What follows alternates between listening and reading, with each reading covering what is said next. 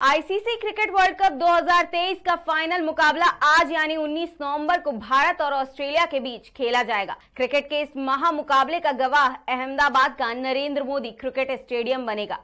एक और team India की नज़रें तीसरी बार खिताबी जीत पर होगी, वहीं ऑस्ट्रेलियन टीम छठी बार विश्व चैंपियन बनना चाहेगी। गौर करें, भारतीय टीम के प्रदर्शन पर तो भारतीय टीम ने सेमीफाइनल तक के सफ़र में अपने सभी दस मुकाबले जीते हैं और टूर्नामेंट में अपराजय बनी हुई है। वहीं बात करें अगर ऑस्ट्रेलिया टीम की तो शुरुआती दो मुकाबले गंवाने के बाद ऑस्ट्रेलिया टीम ने बेहतरीन परफॉर्मेंस का नज़ारा पेश किया है और अपने अगले आठ मुकाबले जीते हुए हैं। वहीं विश्व कप फाइनल विजेता के लिए फेवरेट टीम की बात करें तो पूर्व भारतीय क्रिकेटर सौरव गांगुली रवि शास्त्री अशोक डिंडा, सैयद किरमानी समेत दुनिया जहाँ के तमाम दिग्गजों ने भारतीय टीम को वर्ल्ड कप का प्रबल दावेदार बताया है। ऐसे में देखना यह दिलचस्प होगा कि कौन सी टीम अहमदाबाद के नरेंद्र मोदी स्टेडियम में विश्व कप की ट्रॉफी को अपने हाथों में उठाएगी।